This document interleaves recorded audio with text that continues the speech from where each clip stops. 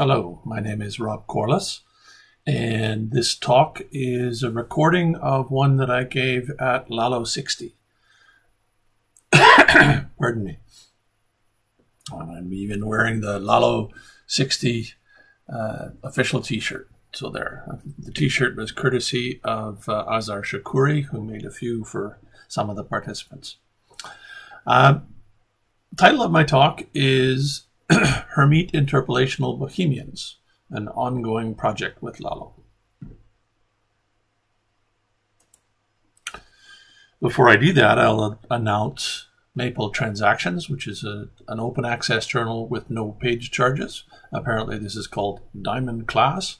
Uh, we welcome expositions on topics uh, topics of interest to the Maple community, including in computer-aided research in mathematics, in education and applications. Student papers are especially welcome.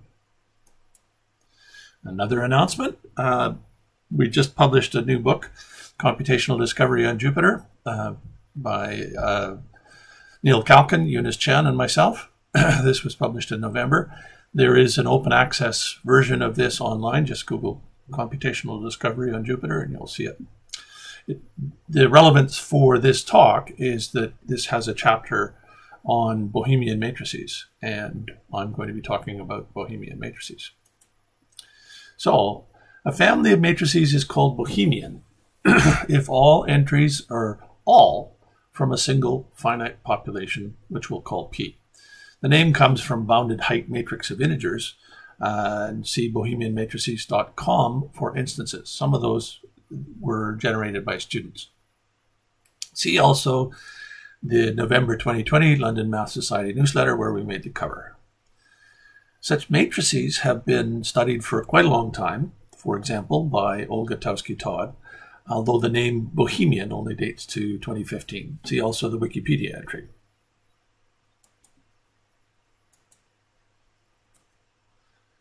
Here's a partial list of some related work uh, with Lalo.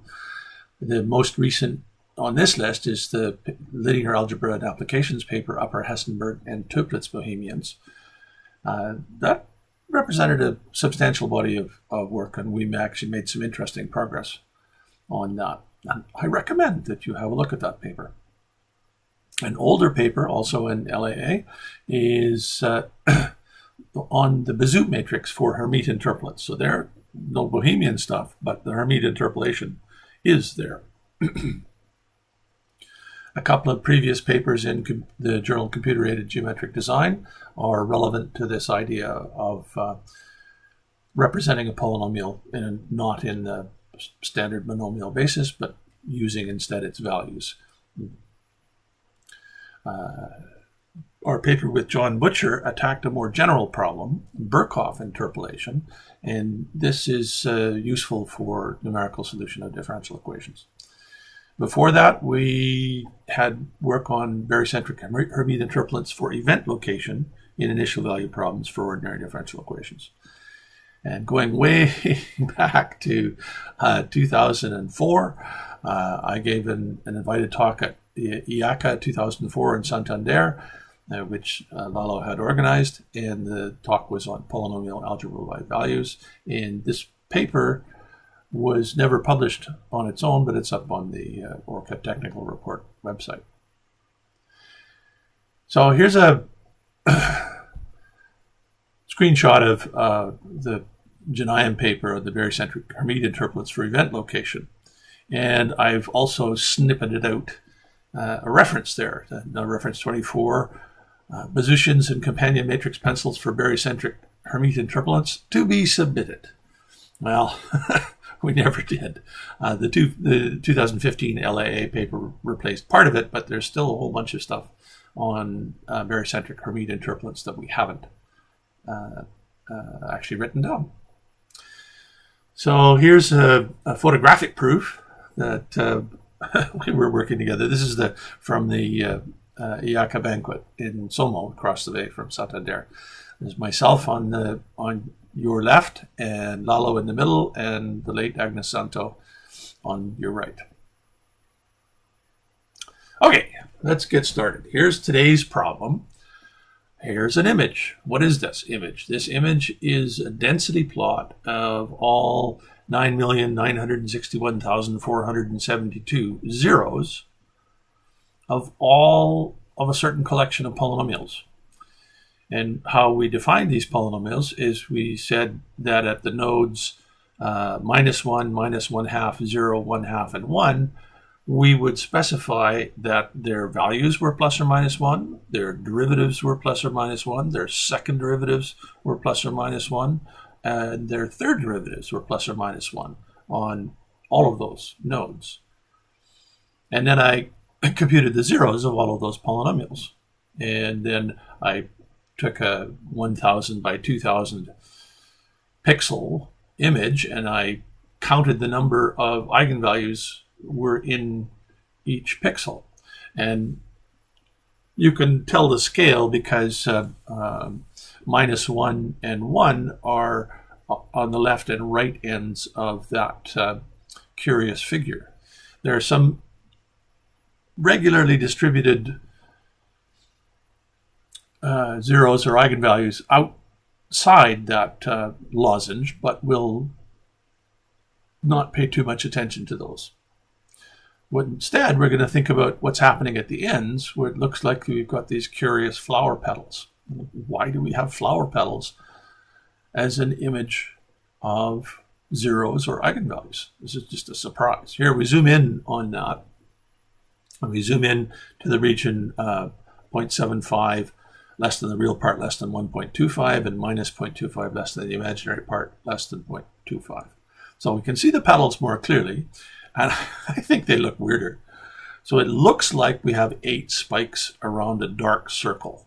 I don't know if my little hand will show up on this video, but I'm pointing at the spike just below the, the real axis, and we just count all the spikes all the way around, including this one, and we have eight.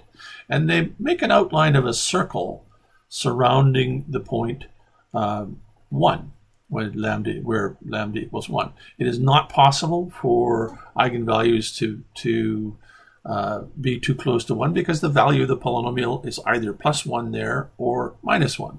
So there is a disk which surrounds that point which where no roots of the polynomials will lie.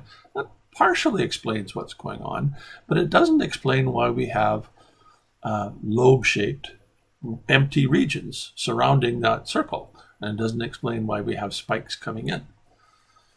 Uh, here I up the confluency instead of uh, just evaluating the derivatives or specifying the derivatives up to uh, the third derivative, we specify the derivatives up to the fourth derivative at each node.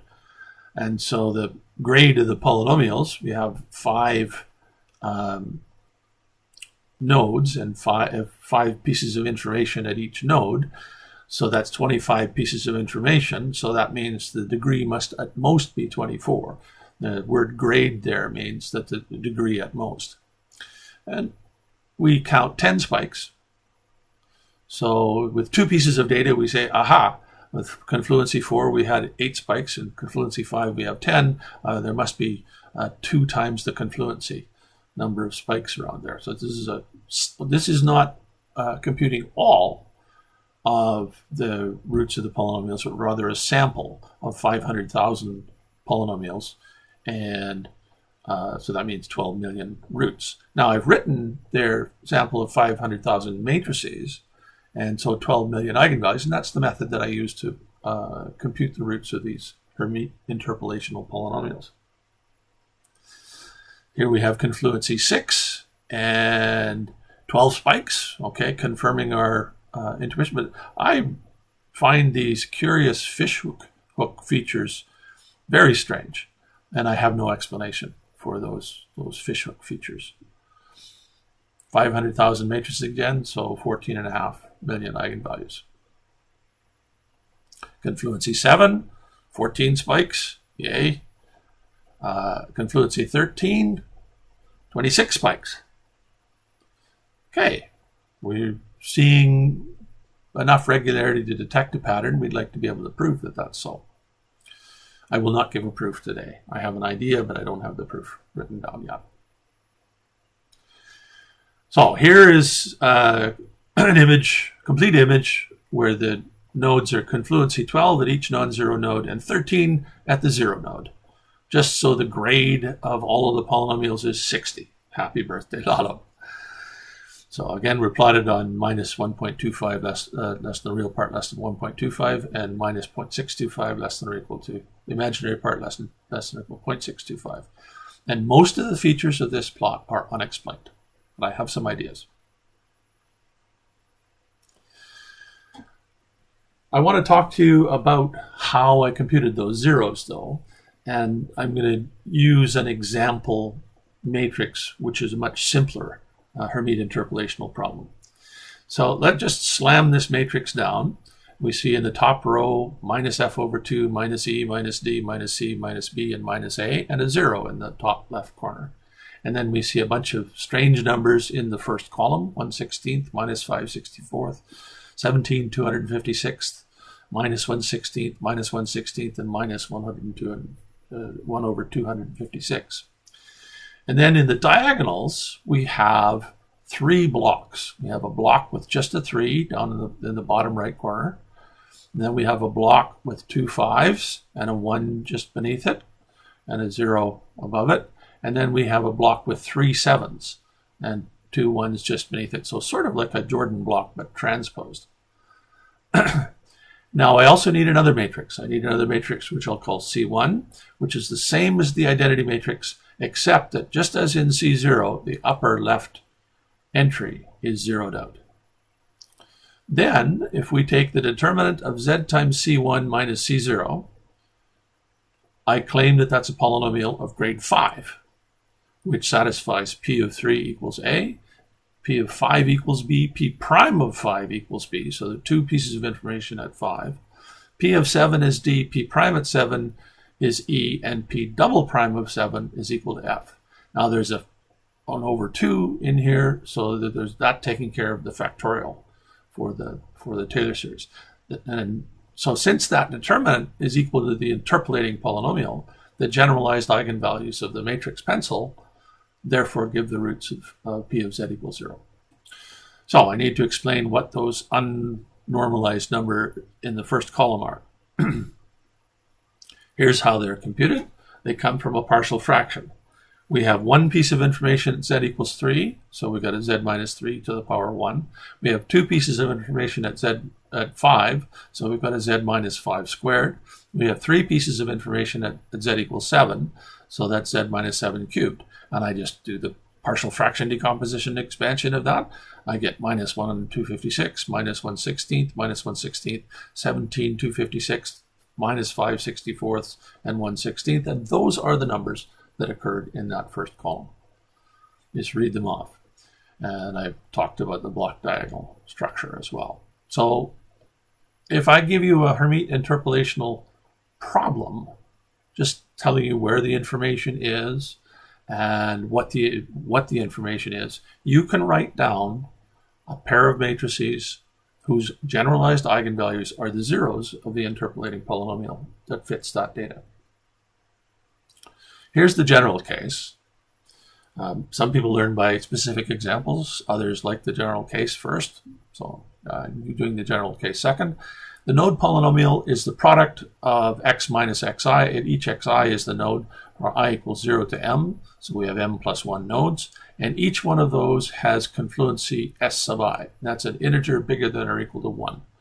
If the integer was 0, then the node wouldn't appear. So there's no point in having allowing zeros in there. We compute the generalized barycentric weights by computing the partial fraction decomposition of this 1 over this node polynomial. And that's a straightforward exercise from first year calculus. So we just consider that that has been done. then the barycentric forms of the interpolating polynomials can be written in the following two ways. The first line, equation 5, is the first barycentric form.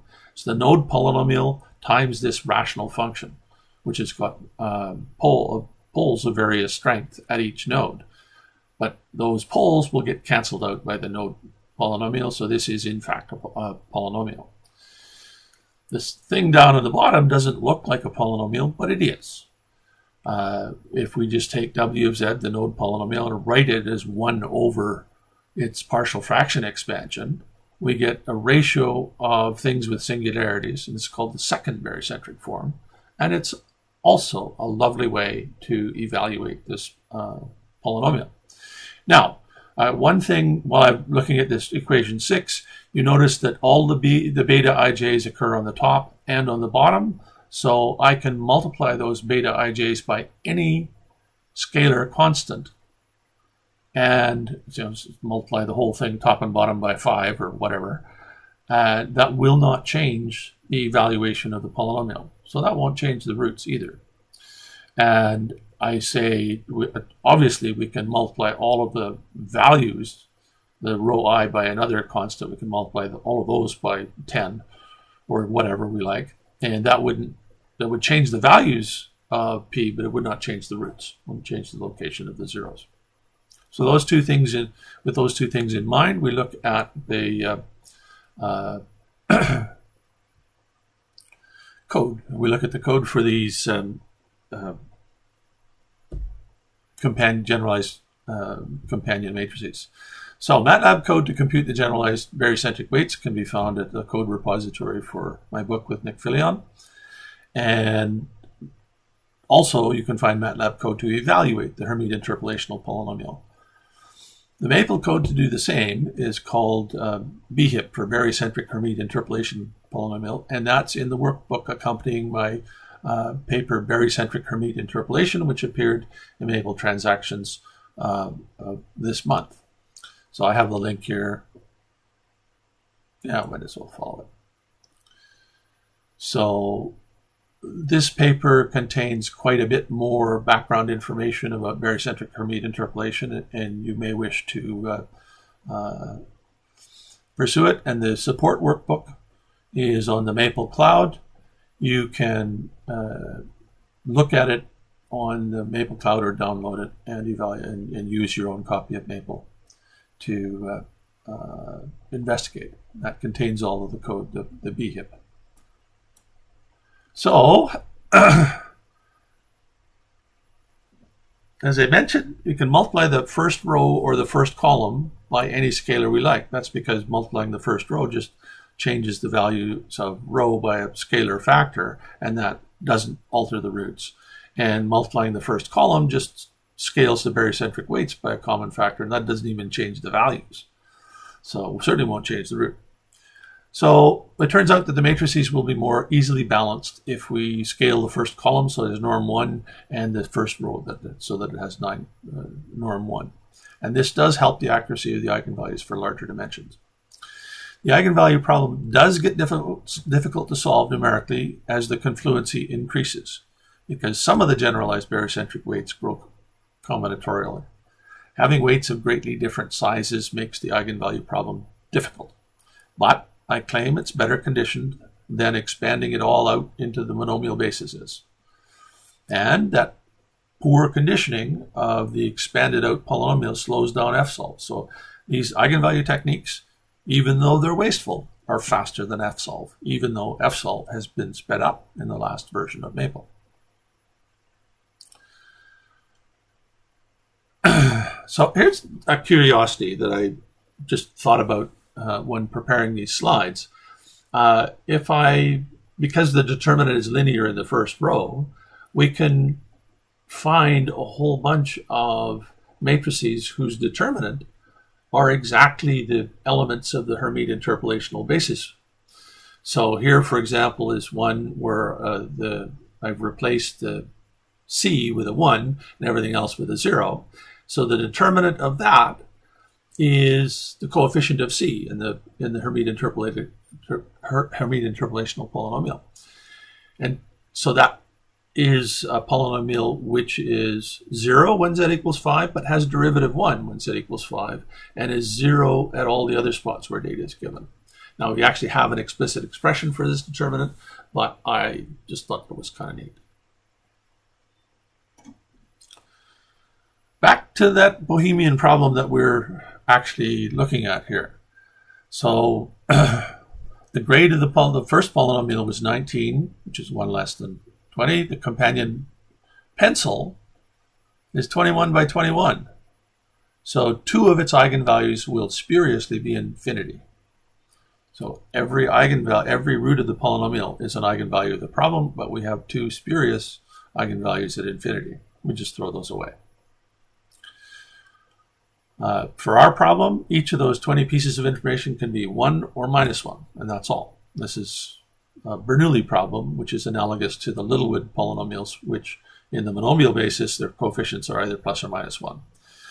So here we have 2 to the 20th such sets of numbers. We take advantage of one symmetry. If p of z is in this collection, so it's minus p of z, so we can fix one of those values.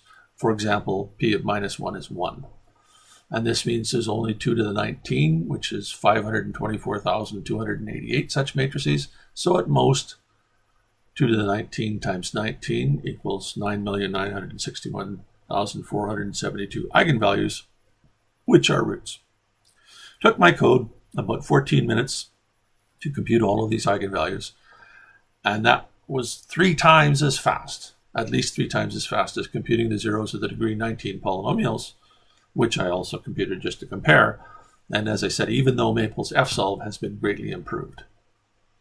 The problem is once you expand those polynomials, uh, they have rational coefficients, and you, so you, you, those rational coefficients are actually really quite large, and the resulting polynom polynomials in the monomial basis are poorly conditioned.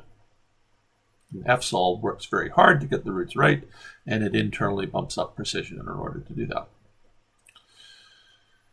So here's a discussion of some of the inefficiencies of the matrix approach. Each matrix has two spurious infinite eigenvalues, so that's about 10%. Solving a generalized eigenvalue problem with two matrices is about five times as expensive as solving a simple eigenvalue problem with the same dimension. Uh, a factor of five, we're getting up there. So solving eigenvalue problems costs order m cubed flops. Flop is a floating point operation. But solving polynomial problems ought to cost only order m squared. Specialized al algorithms exist for many matrices of analogous structure, quasi-separable matrices, that are order of m squared in cost and reasonably stable. So see the work by Leonardo Robol, Jared Aurentz, and David Watkins, and others. But none of those algorithms work for the structure of matrices that I have here. And that last um, factor, factor of m, is particularly important. So in size m equals 20, these experiments could go 20 times faster, or maybe 100 times faster if we get, get a, a simple eigenvalue problem in there. And so instead of 20 minutes, one minute for the dimensions used to this tall. But some efficiencies, still way faster than fsolve. Uh, turns out then the reason for that is I'm not changing the basis. I'm working in the given Hermite interpolational basis so that all of these computations are as numerically stable as possible and I can use ordinary double precision arithmetic. The problems are in fact well conditioned in this basis if the confluency is not too large. And five or six or 10 or 12 is not too large getting getting up there with with 12 or 13. Neither I nor anyone I know had to write any specialized solvers. I just used linear algebra eigenvalues right off the shelf. I threw away the first two eigenvalues, which were always the infinite ones. The problem is trivially parallel. All I need to do is to make the task model work in Maple or switch to Julia or something. But Maple can now automatically do some things in parallel, which I found really impressive. So here is a uh, an instrumented uh, getting 500,000 eigenvalues, uh, eigenvalues of 500,000 matrices. And the real time was 66 minutes, but it's the CPU time was four and a half hours. And that's on a four core, eight thread Surface Pro. Just, just a little, this is my demonstration, my, my giving my talks computer. And I did nothing to direct the parallelism. Maple just did that by itself. So kudos for, for doing that. All right, I'm going to wind up now. This particular Bohemian problem has a, a puzzle for us. Why flower petals? And that's not yet understood, although I have an idea. Uh, I hope, though, that you can see that one can solve Hermite interpolational polynomials easily. Find the roots uh, without changing the polynomial basis. Experimental mathematics, such as this exploration of the Bohemian problem, can use these tools. And the other thing is, Bohemian matrices make good test problems, which is my original uh, motivation for for doing them. So, thank you for listening, and happy birthday to Lalo. This work was partially supported by uh, my NSERC grant, partially supported by a project in Spain for the Spanish MICINN. The conference, I've been calling it Lalo 60, its official name is Matrices and Polynomials in Computer Algebra, Algorithms, and Software, has been generously supported by the Fields Institute for Mathematical Research, CUNEF University, ORCCA, Cargo at Wilfrid Laurier University, MapleSoft, and the Computer Science Department at Western University. And also by all of the participants who came and gave such lovely talks.